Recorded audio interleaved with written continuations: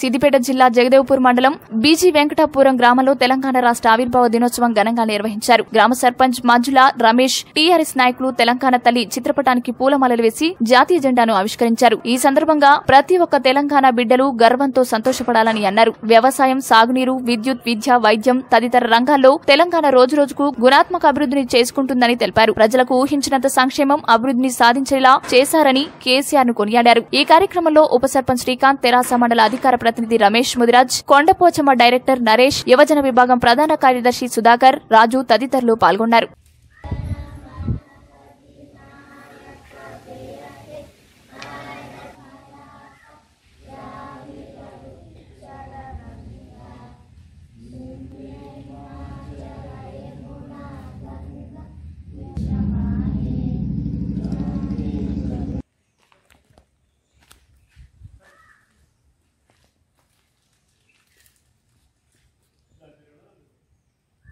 దగ్గర దగ్గర ఉంటే ఫోటో బాగా వస్తుంది ఇంకా కొంచెం దగ్గర రా.